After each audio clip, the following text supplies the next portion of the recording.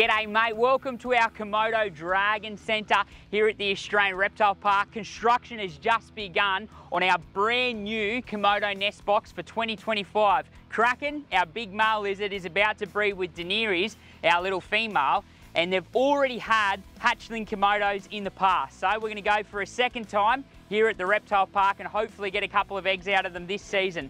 What we're doing right now is we're renovating the old nest box. Come and have a look. We're actually filling it up right now, three metres deep in Sandus soil. So the Komodos have to dig right down deep into the ground to be able to deposit their eggs. And so we're trying to replicate that right now. We've got Billy on the excavator and we're filling it up. So the boys have already laid heat cord down the bottom here.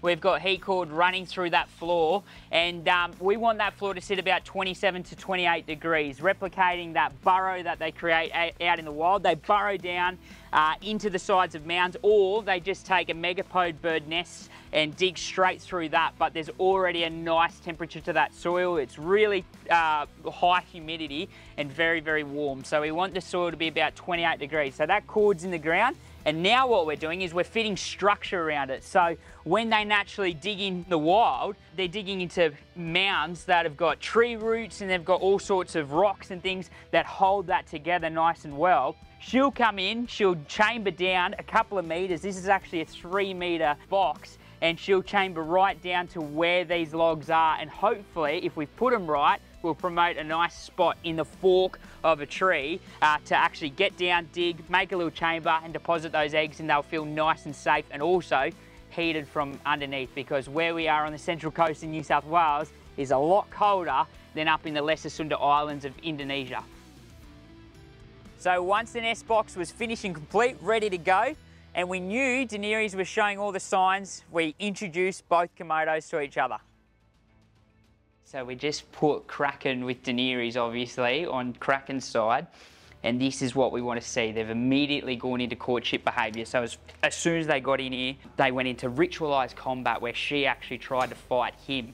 And they stood up like big dragons on Komodo and started wrestling each other. He won.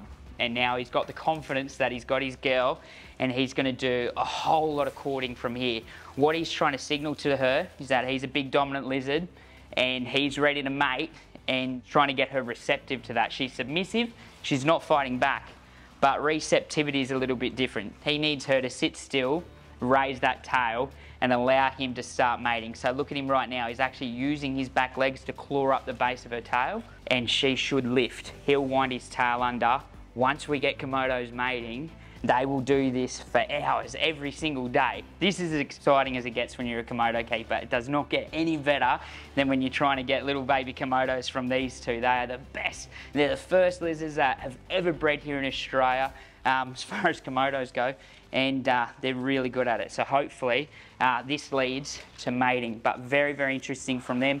He's, he's rubbing his scent all over her and he's picking up odours and pheromones that she's giving off from around her legs, but also right here at the head. And so this could go on for many hours.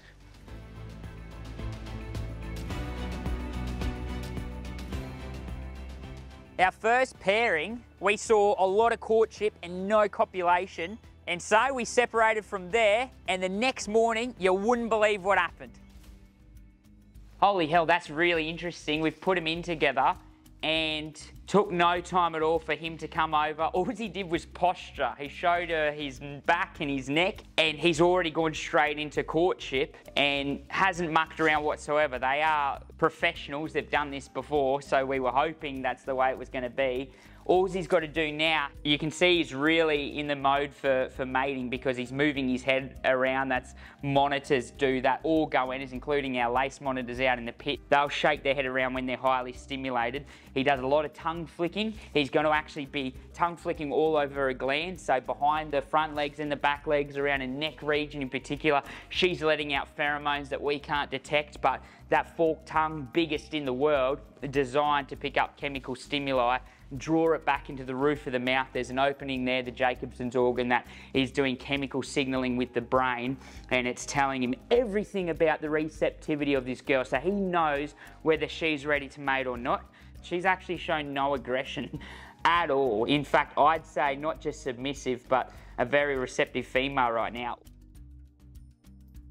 Okay, so let's just go in. They've been at it for quite a while now, like a couple of hours. So Dill and I are just gonna go suss out, see if we've got a confirmed lockup as far as their tails are wrapped, but we wanna see if the hemipene's actually in there. And like, from what we've experienced with Komodos mating in the past, they kind of almost go into a trance, don't they, where they're just completely uh, focused on what they're doing. So we'll go quiet nonetheless and just see, but they should let us go right up to them. So let's go have a look, see what we can see.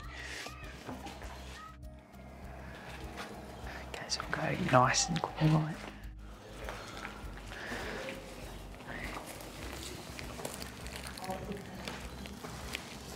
Yeah, so they're not actually locked up at the moment doesn't mean they weren't before, um, but you can see there's a little bit of separation there. So usually he'll she'll have her tail really wrapped up and the cloacas are pressed. Um, and you can see a little bit of the hemipene going in there, but there's a little bit of a gap at the moment. So yeah, we'll just leave them with it.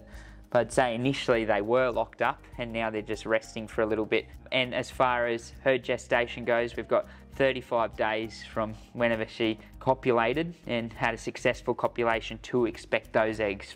So from today, I expect that we're all going to be on high watch of that nest box. We've got two cameras in there to monitor her digging and uh, her behaviour to see when she lays, but more importantly, where she lays, so that we can get in there and successfully get them out without disturbing them too much or causing damage to the eggs.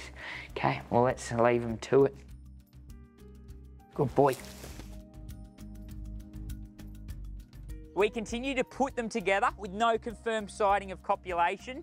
However, Daenerys was digging the heck out of a nest box, which is a really great sign. And then finally put them together and we got to see the moment happen. So I've just heard from Dylan's radioed us and we've got a confirmed lockup with our Komodo dragon. So we've seen a lot of cording and a lot of tail wrapping, but now it sounds like they're actually joined up. So we should be getting baby dragons. Let's go check in on them. I'm gonna go nice and quiet. It's just through, oh, they're right here. Hey mate, dragons are mating. It's actually happened. Wee, congratulations. That's so exciting.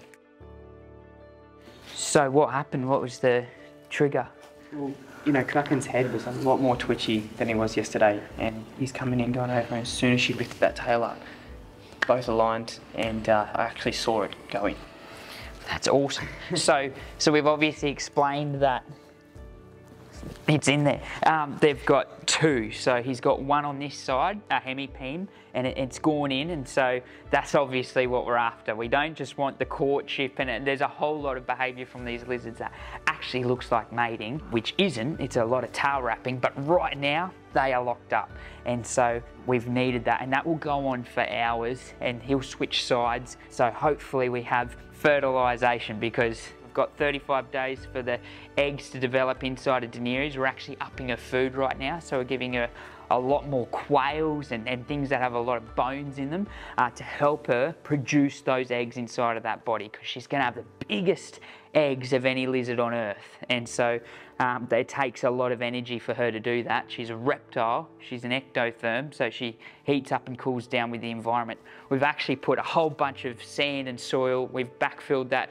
uh, nest box even more than when we last saw it, uh, just so she's got even more digging and she's been chambering down. So she's made a little tunnel down to the bottom, right where the heat pad is at the bottom and she's got a chamber down there and that'll be where she puts those eggs in a month's time. How exciting is this? She actually starts shaking when they when they actually lock up. So we've been waiting for that and Kraken has finally done it, which is really, really good. Oh, very exciting. We better leave them to it. And I tell you what, 35 days for eggs, another nine months for baby dragons after that.